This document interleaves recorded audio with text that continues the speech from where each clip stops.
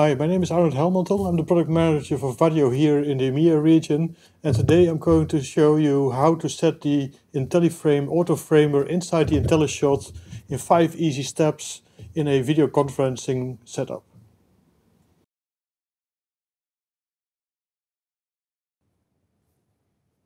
Step number one, open the Vaddio deployment tool and open the web interface for the um, IntelliShot camera.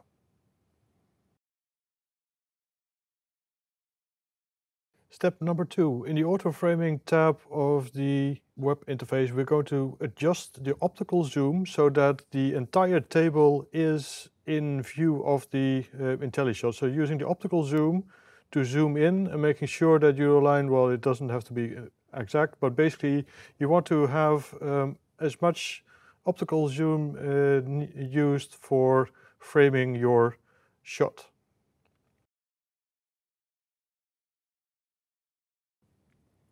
Step number three, select one of the three presets defined, predefined for video conferencing. Um, I would suggest uh, just selecting the default conference and see if that uh, fits your need. But if you want to have it move quicker or slower, you can select either the responsive or conservative preset. So for demo uses, um, I'm now going to do the uh, responsive conference.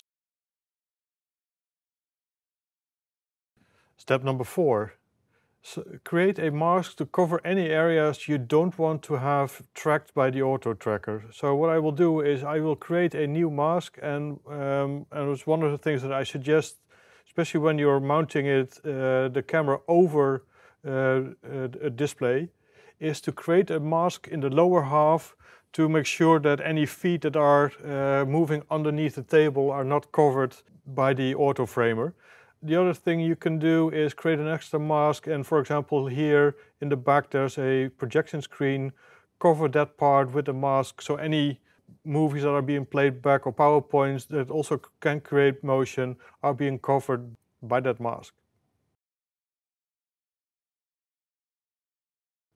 And step number five, unpause the auto framer so it can start tracking anybody entering the room.